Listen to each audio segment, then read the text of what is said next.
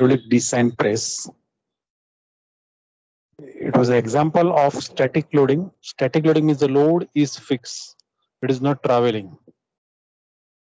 In our next project, we will see design of EOT crane. People are making drawings, but they don't know why the structure is like this, why the boom is like this, this particular structure is like this. What is inside this particular structure? Why is height is X and width is Y? How many ribs are placed inside? They have no idea of any calculation. Okay. This is the drum on which the wire rope is being wound. How to design this particular drum? It is a drum, not solid, hollow. Okay. So how our training goes?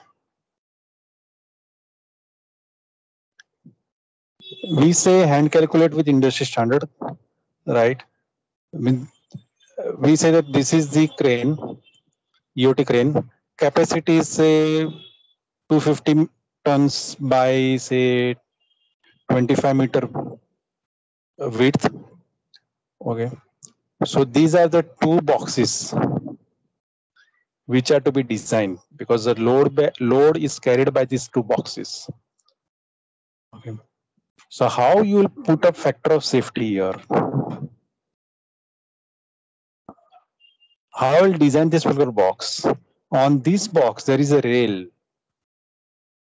Okay, on this rail, this particular entire structure is traveling. So you design the rail size as well as the wheel size.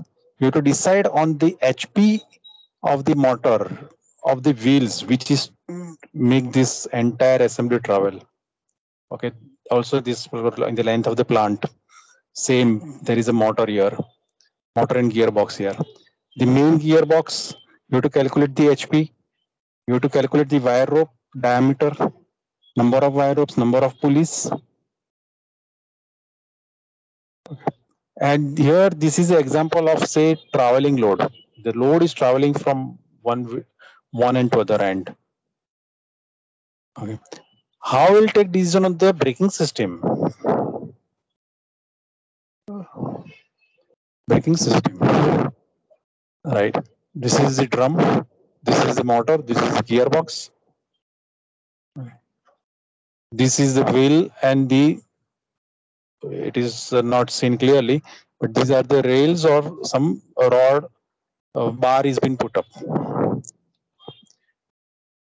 So we are training you on why, how to solve by formulas. Okay. This will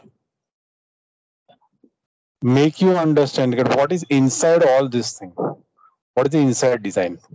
Making CAD drawing is only say, uh, okay, it is a, uh, you are not moved further the third semester. Till third semester, drawing was one of the subject. But after third semester, there was never a drawing was a subject. So if you want to move further in your career, you want to earn more, then you must know what why you must answer why why this structure is like this why the motor hp is like this How, what is the factor of safety here what will be my life? If i say if i want to design for life of 1 million lift but i'd say that for 1 million lift my price is going too much high because the weight is going too much high. No bring the design to half a million lift then how will do it?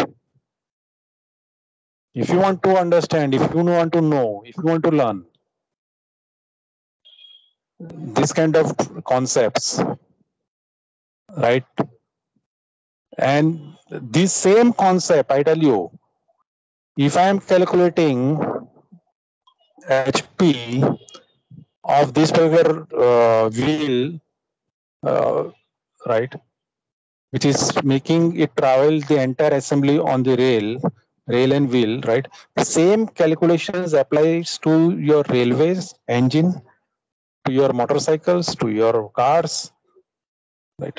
Means single concepts these single designs they are applicable at so many other applications uh, so many other products. And our target is like that. Okay single concept many applications many hits you do. Here there is a design of drum. Design of drum. This drum